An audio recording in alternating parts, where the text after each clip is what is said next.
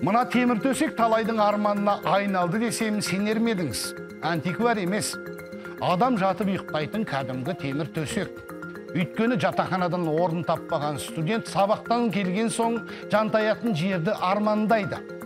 Биыл грант көп. Әр гранттың артында әжептәуір қаржы барын ескерсек жоғарғы оқу орын басшыларының қуанышында шек жоқ. Бірақ проблема да көбейді. Өйткені жатақхана бәріне жетпейді. Сондықтан да биылғы оқу жылы жатақхана жырымен басталып оның қайырмасы созылып барады. Ректорлар қосымша студенттер легін қабылдауға дайындалу керек еді ғой. Жоқ оны істемеді. Сөйтіп енді міне жатақханаларды аузы мұрнынан шығарып толтырып жатыр. Бірақ онымен мәселенің шешілетін түрі жоқ. Неге? Бұл сауалға гүлмира тасболатқызы жауап іздейді. Бұл алматыдағы атыдардай қазақ ұлттық техникалық зерттеу университеті.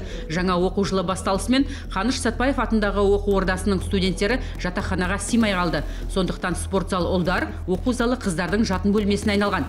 Тіпті жертөле де кәдеге жарап тұр. Жатақханадан орын бұйырмаған студенттер амалдың жоқтығынан жамбасы тиген жерге жатуға мәжбүр. Бұған дейін үш жыл бойы жатақханада тұрып келдік. Биыл ғана бірінші курстың көптігіне байланысты жатақхана жетпеді. Сол үшін осылай тұрып жатырмыз биыл. Мына осы оқу залын Иә. жатақ бөлме жатын орынға жатын орны болып иә. Қанша адам тұрып отырсыз? Қазір сегіз қыз тұрып жатырмыз.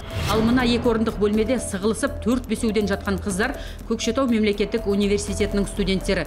Көпшілігі білім іздеп шет аудандардан келген. Пәтер жалдап тұруға жағдайы жоқ. Сондықтан аядай бөлмеден орын бұйырғанына мәз.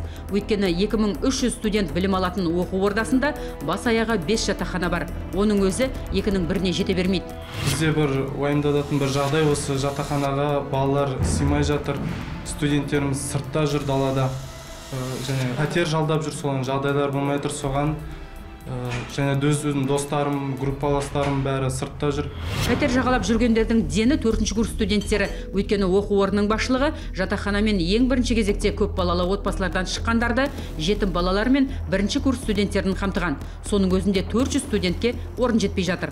Сондықтан жергілікті әкімдік тендер жариялап қаладағы қонақ үйлерден 100 орын алып беруге әрекеттеніп жатыр екен.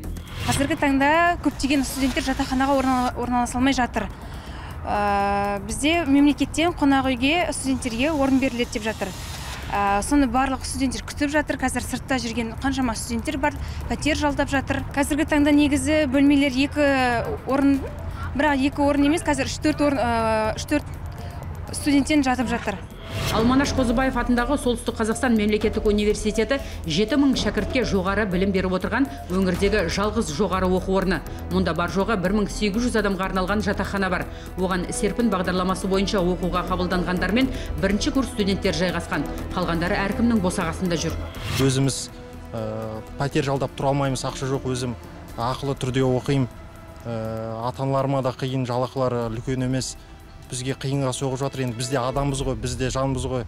Біз де оңтүстіктен кеп емеспіз біз де енді солтүстік қой бізге де неге көмектеспейді облыс орталығы болмаса да семей студенттер қаласы саналады. Мұндағы оқу ақысы еліміз бойынша ең арзан. Сондықтан болар мұндағы төрт жоғары және отызға жуық колледжде қазір 30 мыңға жуық студент білім алады. Бірақ қаладағы 18 жатақхана тек 4 мың орынға шақталған.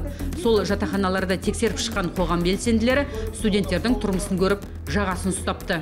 Мы очень не удовлетворены первым. біз студенттердің жағдайымен танысып қатты наразы болып отырмыз. Жастар бір бөлмеде сығылысып жатыр. Ас әзірлейтін демалатын бөлмелердің бәрі жатақ орынға айналған. Әр бөлмеде тоқ плита өрт қауіпсіздігі сақталмаған. Ректорат осыны көрмей ай қарап отыр ма елімізде студенттерге арналған барлығы 127 жатақхана бар.